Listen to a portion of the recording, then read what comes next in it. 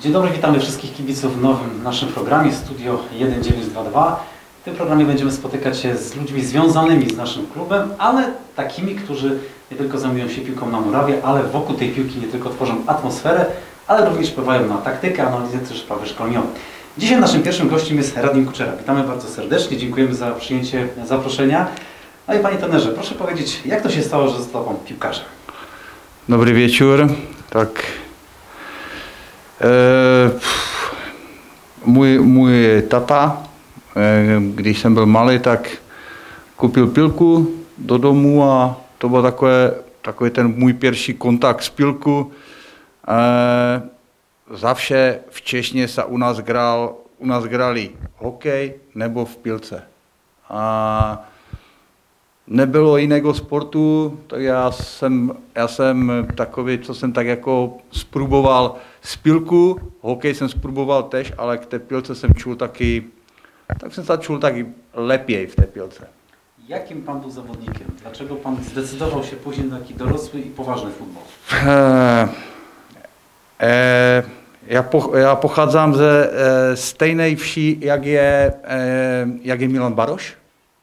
Eh, to je možná takové přirovnaně, eh, má to tisíc lidí, je to velké jak Něčeča, dla mě, také podobné. A eh, já do 18 let jsem hrál takový na nízkém požomě a potom jsem musel vchodit na vojnu a tam já myšlám, že v, vzešla moja kariéra, kdy jsem na vojně začal hrát takový, na, ta, na takovém vyšším požomu, pak jsem přechodil do druhé ligy, do Fritku Místku a później do Opavy, do pierwszej ligi. A w 1998 roku rozpoczyna się gra w klubie, którzy kibice mają prawo kojarzyć Sigma Ołomuniec. No, tak jest a to byl můj taky už pierwší velký klub, kdy jsme grali evropské poháry. A, tak musím povědět, že e, byl jsem takovým pilkařem, že jsem tak měnil e, pozice v, v ustaveně. Jeden raz stoper, jeden raz levý obronce, napasník, levý skřídlový, pravý skřídlový. Moje zdanie je, že mi brakuje e, brankař. To je jediná pozice, na které jsem já negrál. A mm, myslím, že jak jsem v Češně grával, tak nejlepší jsem se čul na takové té pozici e, šrotkový obronca nebo šestka, takový defenzivní e, šrotkový pomocník. No tak, było dużo tych zadań troszkę defensywnych, pan trener o tym mówi, ale udało się zdobyć 22 bramki w Sigmie Ołomuniec. Jaka bramka była taka najbardziej do zapamiętania, którą do dziś trener na pewno pamięta? No, myslím, že oproti v Spartě Praga, když jsme eh, hráli u sebe v, Ol- v Olomouci eh, 1-1 a v Evropském poháru eh, oprotivko, eh, trošku dlouho jsem zapomněl, ale eh, tam jsem, tam jsem střelil taky také takovou pěk, pěknou branku a zavše, zavše taková moja jako když jsem, když jsem hrál v obroně, chodil jsem na stále fragmenty, ale zavše jsem chtěl střelat i branke. A później i v Bundeslize jsem střelil e, 6 nebo 7 branek. E, e, dla, dla mě, když jsem vchodil jak, jako nápasník nebo na ostatních 10 minut, zavše jsem chtěl střelat branke. A měl jsem dobrý vzrost, dobrý timing na hlavu, e, tak pár pěkných branek jsem střelil. I przychodzi rok 2005 i Radim Kuczera trafia do Arminii Bielefeld. Zaskoczenie? zaskočeně. I já myslím, že, nebo škoda je, že jsem odchodil tak pozdno. E, měl jsem 31 let a už jsem byl takový starý pilkař, ale myslím, že těch pět let v Bundeslize, nebo čtyři leta v Bundeslize a jeden ve druhé lize, bylo pěkných. Eh, Musím povědět, že mm, to, ten počátek byl takový trudný. Eh, eh, Myslel, myslel jsem, že jsem přichodil takový dosvědčený závodník a, a že e, mám dobrou kondici, ale pierwší měsíc, dva, tři měsíce musel jsem musel jsem se dobře přigotovat do tréninku. Bylo to trudné, bylo to takový lepší požom, lepší družina. Ty tréninky byly dla mě ne tak těžké, v, také, byly také podobné jak v Čechách, ale ta jakost špilkařů byla taká, že prostě se muselo všecko dělat šipčej spílku, uvažat, šipčej reagovat, eh, šipčej přijmout, odegrať pilu a to mm, jsem musel tak tři měšonce jsem ten tak přivykal k té, k tej grze. A łatwo się było tej nowej gry w wersji niemieckiej nauczyć, bo wiadomo, wiek 31 lat to jest taki wiek, gdzie pewnych rzeczy niełatwo jest przyswoić. No, tak to je tak zawsze. A já myslím, já myslím, že i mladý chlopák, který přichodí do Bundesligy, není lehko.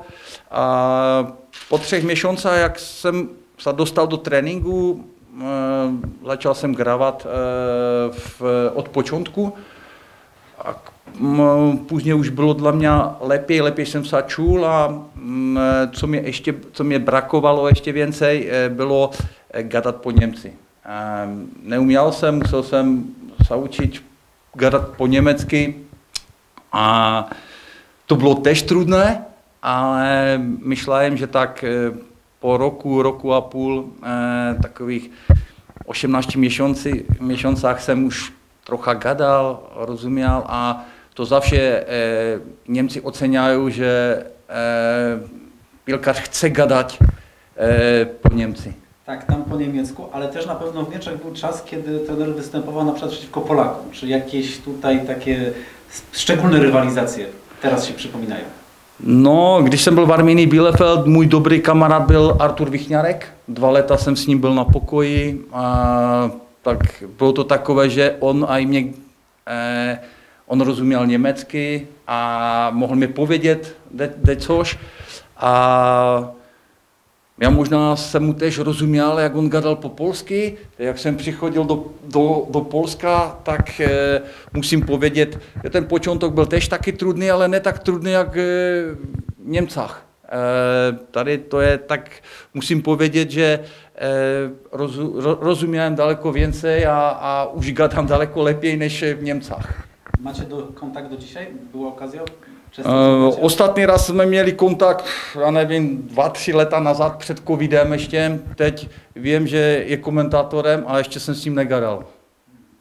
Rozumiem. Po, po yy, grze w Arminie powrót ponownie do Czech i ponownie Sigma Ołomuniec. Mm.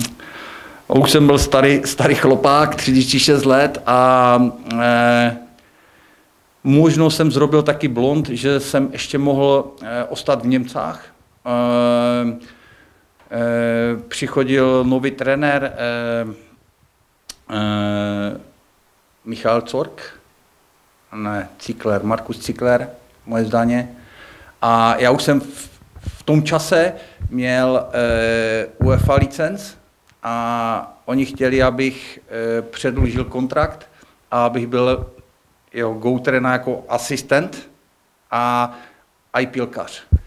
A um, už Eh, mě, moje zdání bylo také, že už, už eh, jsem chtěl do Čech nazad a už jsem začal takový zmenšený, už to nebylo, už nebylo, neměl jsem takový, takový, takový požon, ale e, kdybych já ostal, měl bych mož, možnost, možlivost więcej e, do té do trenerské práce vchodit v Němcách Teď je moje zdaně, je to těžké.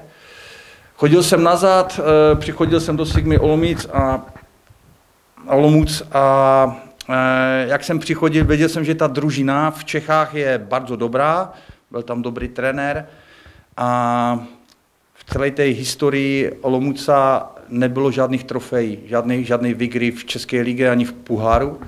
A měl jsem tak, mě, u mě bylo taká, taká pěrší, co, co, na, na co jsem myslel, že by bylo dobré, když mám ostatné dvě leta kontrakt, něco vygrať. A v, tém, v tom ostatném roku jsme vyhráli Český pohár a pak jsem mohl od, odchodit spokojně do důchodu. Jest pan teraz trenerem. Kiedy Pana głowie pojawił się pomysł, że tak, po skończeniu kariery chcę być trenerem? Bo za- czasami bywa tak, że to są takie wybory nieoczywiste, czasami przypadkowe, ale czasami są tacy piłkarze, którzy nawet są w kwiecie wieku, mówią tak, chcę być trenerem, chcę pracować potem z zawodnikami, albo młodszymi, albo starszymi, albo seniorami. Eh, Já už včešně, než jsem odchodil do Němci, eh, eh, jsem byl kapitánem v, v Olomouci a tam už jsem trocha, tam už jsem trocha byl tak, že jsem eh, chodil na individuální tréninky mládežovců. A tam jsem tam trocha už čul, že by možná později bych eh, chtěl eh, být trenérem. A ještě než jsem odchodil do Němci, tak jsem si eh, zrobil eh, UEFA A licenc. A dla mě bylo i potom latvo, jak jsem přichodil z Němci, zrobit si profi. A, ale v tom čase už, jak už jsem byl v Sigmě takový dosvědčený závodník, kapitán a chodil jsem na individuální tréninky mládežovců, tak tam jsem čul, že bych mohl tak být trenérem.